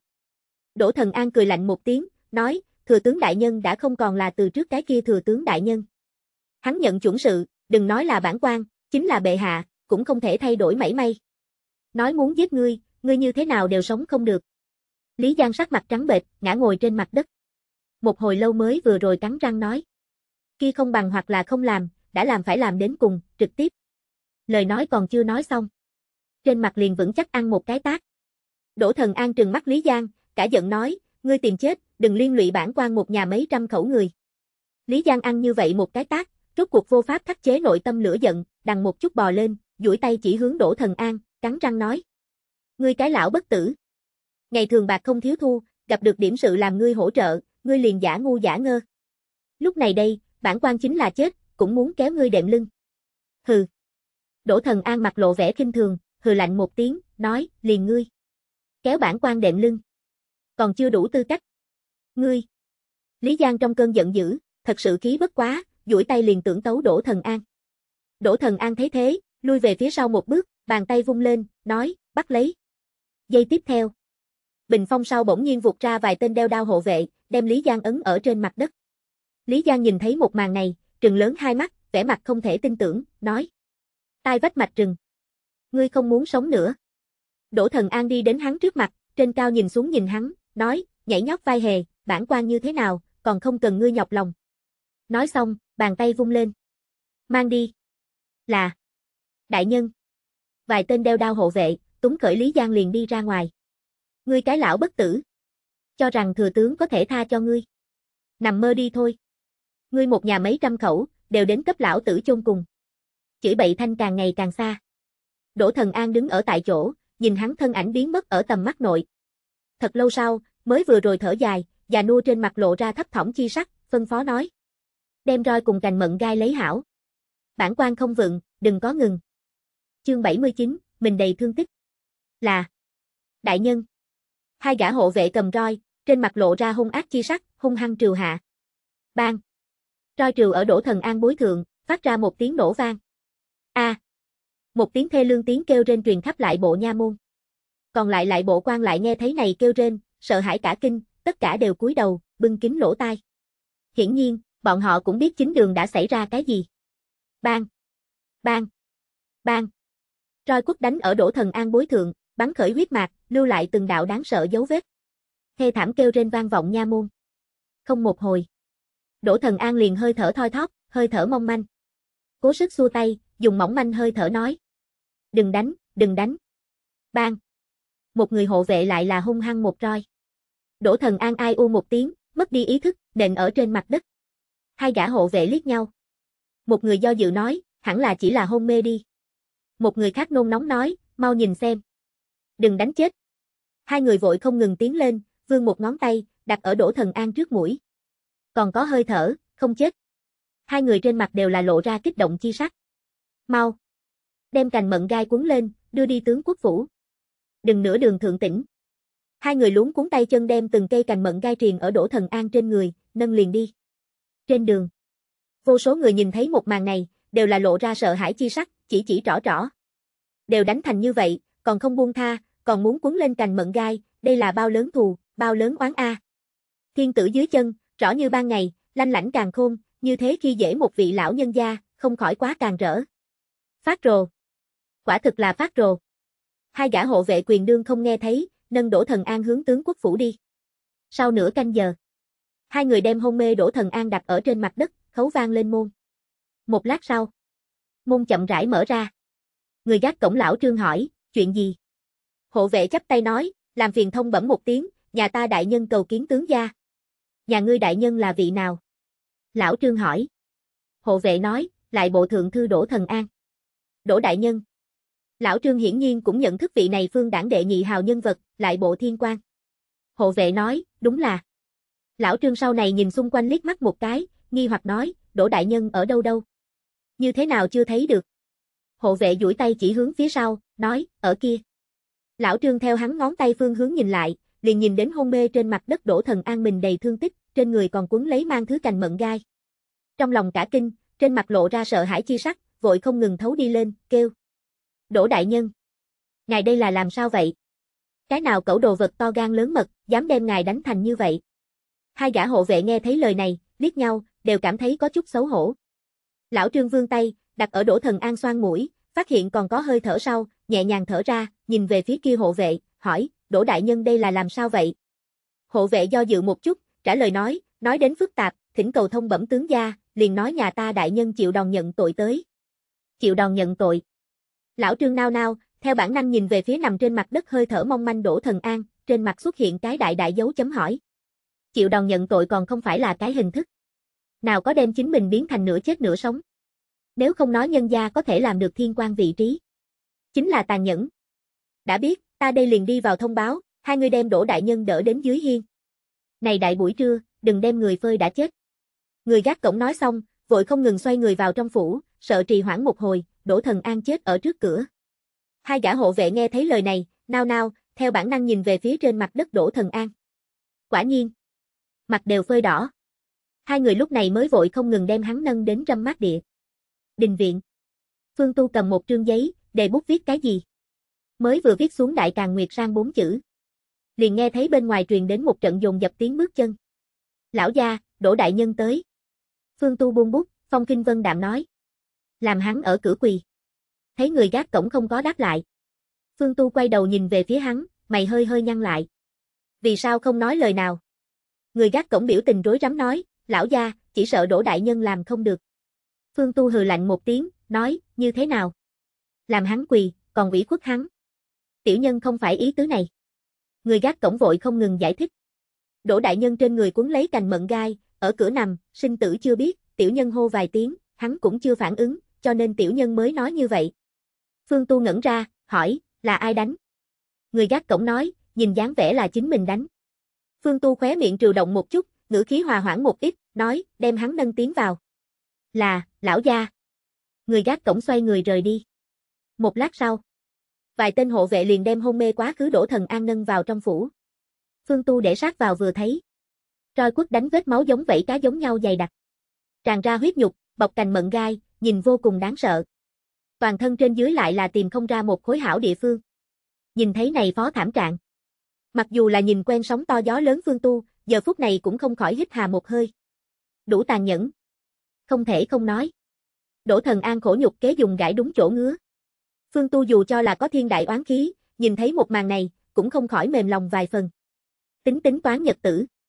Đỗ thần an đi theo hắn bên người cũng có 7-8 năm, vẫn luôn là cẩn trọng, không gây chuyện, cũng không sợ sự. Tuy nói thượng một lần, Tần Hưng Ngôn bị buộc tội thời điểm, hắn không có đứng ra chống lưng. Nhưng kia cũng là thành lập ở, hắn cho rằng Phương Tu vẫn chưa tỉnh lại cơ sở thượng. Phương Tu tới rồi triều đình sau. Vô luận là chỉ hưu bảo ngựa, vẫn là hỏi trảm lương thương, hắn đều đứng ở Phương Tu bên này.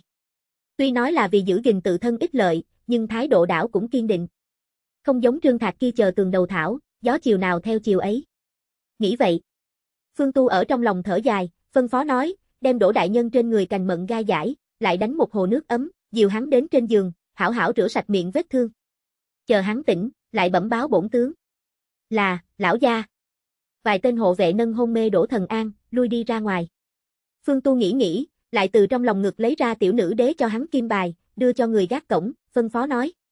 Cầm này khối kim bài, đem ngự y kêu tới, cấp đổ đại nhân hảo hảo xem. Tốt, lão gia. Người gác cổng vương đôi tay, thật cẩn thận tiếp được kim bài, hành lễ, xoay người rời đi. Phương Tu nhìn hắn bóng dáng, lắc lắc đầu, thở dài một tiếng. Quay đầu, tiếp tục viết chính mình đại càng nguyệt sang. Sau nửa canh giờ, Phương Tu buông bút, nhìn trên giấy phân chia ra khu vực, trên mặt lộ ra vừa lòng tươi cười. Đang muốn phân phó đắc kỹ, tìm chút thú vị nội dung, đem khuôn sáo lấp đầy. Đình viện ngoại bỗng nhiên truyền đến một tiếng thê thảm kêu rên. Phương tướng, hạ quan muôn lần chết chi tội. Chương 80, vì sao còn không cưới vợ sinh con? Phương Tu quay đầu nhìn lại. Mình đầy thương tích đổ thần an quỳ trên mặt đất, già nua trên mặt tràn đầy áy náy, khóc trống nói. Hạ quan cô phụ phương tướng tín nhiệm, hạ quan đáng chết. Phương Tu đứng dậy, đi đến hắn trước mặt, trên cao nhìn xuống nhìn hắn, mày một chọn nói. Vừa rồi còn nửa chết nửa sống, mới nửa canh giờ liền lại sinh long hoặc hổ, xem ra ngươi này thương cũng không nhiều trọng sao. Đỗ Thần An nghe thấy này hơi mang treo chọc nói, một lòng nháy mắt an ổn xuống dưới, nhẹ nhàng thở ra đồng thời, trả lời nói, đều là kéo phương tướng phúc. Phương Tu không lạnh không đạm nói, bổn tướng nhưng không có gì phúc, một lượng bạc tử không vớt đến, một ngụm hắt qua nhưng thật ra bối ở trên người. Đỗ Thần An vội không ngừng nói, hạ quan đáng chết. Phương Tu nhìn hắn, nhàn nhạt nói, bổn tướng nghe nói, kia Lý Giang cho ngươi không ít bạc. Đỗ Thần An ngước mắt nhìn về phía Phương Tu, trung trung rẩy rẩy nói, Phương tướng, những cái đó bạc tất cả đều giấu ở phòng ngủ hầm, một hai cũng chưa động. Hạ quan ngày mai liền sai người đưa đến trong phủ. Phương Tu mày một chọn nói, một hai không nhúc nhích. Đỗ Thần An rung giọng nói, hạ quan biết này đó bạc là Lý Giang cổng tướng gia bán quan đoạt được, mở heo che tâm nhận lấy sau, hạ quan ngày đêm sợ hãi, lo lắng đề phòng, một ngày không được an bình, nằm mơ đều là một ngày kia sự việc đã bại lộ. Như vậy bạc, đừng nói một hai, chính là nửa lượng, hạ quan cũng không dám hoa, tất cả đều trên mặt đất hầm phóng. Nói đến này, hắn khóc lóc thảm thiết lên, hạ quan xuất thân hàng môn, tuy là sĩ tộc, lại liền giống nhau thương nhân đều so ra kém, đọc sách thời điểm, tới rồi mùa đông, một chén cháo loãng đều đông lạnh thành khối, phân ăn. Hạ quan thật là nghèo sợ. Nghèo sợ a. Nghe thế. Phương Tu khóe miệng trừ động một chút, tức giận nói, không sai biệt lắm được. Đỗ Thần An vẫn là khóc trống. Phương Tu vẫy vẫy nắm tay, tức giận nói. Lại khóc tấu ngươi. Nháy mắt, Đỗ Thần An đình chỉ khóc thúc thích, chỉ là trên mặt mang theo nước mắt, nước mũi mạo phao. Đâu giống là quyền cao chức trọng lại bộ thiên quan, rõ ràng chính là cái bị ủy khuất tiểu lão đầu. Phương Tu nhìn thấy một màn này, tức giận đến cười, nói, ngươi còn ủy khuất thượng. Đỗ thần an đầu dáng mà, hạ quan không dám. Hạ quan thấy rõ nghiệp chướng nặng nề, khẩn cầu phương tướng xem tại hạ quan mấy năm nay làm việc còn tính tận lực phân thượng, chỉ giết hạ quan một người, lưu lại quan kia 21 đứa con trai, 97 cái tôn tử một cái đường sống. Phương Tu khóe miệng triều động một chút, tức giận nói, ngươi từ đâu ra nhiều như vậy nhi tử. Đỗ Thần An nói, đều là kéo Phương tướng Phúc. Đi ngươi đi. Phương Tu đi lên chính là một chân, đem hắn đá vào trên mặt đất. Đỗ Thần An lại là khóc trống lên. Phương Tu nghe chỉ cảm thấy đau đầu, xua xua tay, tức giận nói, bổn tướng chỉ cho ngươi lúc này đây cơ hội, ngươi đem phía trước gạt bổn tướng sự, một năm một mười mà giao đãi rõ ràng, nếu là lúc sau lại làm bổn tướng điều tra ra cùng loại sự, bổn tướng tuyệt không khinh tha ngươi. Đỗ Thần An nghe thấy lời này, nháy mắt đình chỉ khóc thúc thích, hỏi, phương tướng lời này thật sự. Phương Tu liếc xéo hắn, hỏi ngược lại, không lo thật lại như thế nào. Đỗ Thần An vội không ngừng nói, hạ quan khóc đầu óc hôn mê, tẩn nói chút hồ đồ lời nói. Phương Tu nói, đừng vô nghĩa, nhanh lên nói. Đỗ Thần An không dám lại kéo, vội không ngừng nói, trừ bỏ Lý Giang đánh ngài danh nghĩa bán quan bán tước, còn có đức chính 19 năm, kia một năm khoa cử, hạ quan là chủ khảo. Tần Hưng Ngôn đưa cho hạ quan 5 vạn lượng bạc, làm hạ quan cho hắn nhi tử bài thi bình cao một ít, hạ quan gạt ngài đáp ứng rồi. Phương Tu mày một chọn, hỏi, ngươi như thế nào biết, nào một phần bài thi là Tần Hưng Ngôn nhi tử? Cho dù là ở lạng đến căn tử đại càng. Khoa cử đều là nhất đẳng nhất đại sự. Gian lận khoa cử, một khi sự phát, chính là mãn môn sao trảm tội lớn. Bất luận kẻ nào cũng không dám ở mặt trên gian lận. Đỗ Thần An nói, hạ quan không biết. Phương Tu nói, vậy ngươi như thế nào đem hắn bài thi bình cao? Đỗ Thần An nói, hạ quan cái gì cũng không có làm, nên như thế nào chấm bài thi liền như thế nào chấm bài thi, khi Tần Vĩnh Tân cuối cùng trúng cái nhị giáp tiến sĩ, hắn cha tưởng hạ quan công lao, trên thực tế tất cả đều là dựa chính hắn. Phương Tu khóe miệng trừ động một chút, hỏi, kia hắn nếu là rơi xuống bảng, ngươi như thế nào công đạo? Đỗ Thần An nói, rơi xuống bảng cũng bình thường, bài thi quá kém, mặc dù là cố tình bình cao cũng vô lực xoay chuyển trời đất, lúc ấy Tần Hưng Ngôn cùng Hạ Quan giống nhau, đều là thị Lang, hắn tổng không thể tấu Hạ Quan một đốn. Kia hắn nếu là hỏi ngươi muốn bạc. Đỗ Thần An mặt lộ vẻ nghi hoặc, bạc. Cái gì bạc? Phương Tu thấy hắn nghiêm trang bộ dáng, nửa ngày nghẹn ra một câu, bổn tướng xem thế là đủ rồi. Đỗ Thần An cười hắc hắc, chỉ cảm thấy miệng vết thương cũng không đau, trả lời nói, Phương tướng quá khen. Ai khen ngươi? Phương Tu nhịn xuống lại đá hắn một chân xúc động, hỏi, còn có đâu? Đỗ Thần An nghĩ nghĩ, nói, liền này hai dạng sự, khác không có. Phương Tu nói, đã biết, tổng cộng 15 vạn lượng, ngày mai đưa đến bổn tướng trong phủ. Đỗ Thần An ngẩn ra, buộc miệng thốt ra nói, tính thượng tần hưng ngôn kia 5 vạn lượng, hạ quan cũng mới cầm 10 vạn lượng. Vừa dứt lời. Hắn bỗng nhiên phản ứng lại đây, giơ tay liền cho chính mình một cái tác, nói, hạ quan lại nói mê sản, chính là 15 vạn lượng, hạ quan mới vừa rồi nhớ lầm. Ngoài miệng nói như vậy. Trong lòng lại là nói, xem thế là đủ rồi này một khối, vẫn là phương tướng càng tốt hơn a. Khi hạ quan cáo lui. Thấy phương tu nửa ngày không nói lời nào, Đỗ Thần An thật cẩn thận nói. Phương tu nhìn hắn một cái, nói, còn có chuyện. Đỗ Thần An nói, phương tướng thỉnh giảng. Phương tu tự hồ nghĩ tới cái gì, biểu tình trở nên có chút cổ quái, hiếu kỳ nói, ngươi không sợ kia hai cái hộ vệ thật đem ngươi đánh chết. Nghe thấy vấn đề này. Đỗ Thần An trong đầu hiện ra phía trước bị đánh hình ảnh, giận sôi máu, nói, kia hai cái cẩu đồ vật. Một chút đều không biết biến báo. Hạ quan nói, làm cho bọn họ đánh vựng hạ quan, chỉ là một loại khoa trương ngữ pháp, hai người bọn họ thật đúng là thật sự. Hạ quan lúc ấy cầu bọn họ, đừng đánh, đừng đánh, hai người bọn họ còn không dừng tay, hạ quan lúc ấy một lòng thật là trầm tới rồi đáy cốc, trong lòng nghĩ, lúc này xong rồi, chịu đòn nhận tội biến thành sợ tội thắt cổ tự vẫn. Xem thế là đủ rồi. Phương Tu xua xua tay, cút đi. Được rồi. Đỗ Thần An từ trên mặt đất bò lên, tung ta tung tăng chạy. Phương Tu nhìn hắn bóng dáng, càng thêm cảm giác. Phương đảng trừ bỏ chính mình, giống như không mấy cái bình thường. Hắn thở dài, không hề quản bọn họ, cầm trong tay báo chí, tìm đát kỹ đi. Cùng lúc đó, Hoàng cung, dưỡng tâm điện. Một bên, Lâm Nguyễn Nhi vội không ngừng trình lên một ly trà thủy, nói, bệ hạ, đây là trân bảo trai tân ra dưỡng nhan trà, ngài nếm thử. Võ Minh không duỗi tay tiếp nhận chung trà, nhấp một ngụm, tự hồ nghĩ tới cái gì, nói. Lần trước cho ngươi đi hỏi thượng cung, vì sao có nam nhân tới rồi 28 tuổi, còn không cưới vợ sinh con, ngươi nhưng hỏi.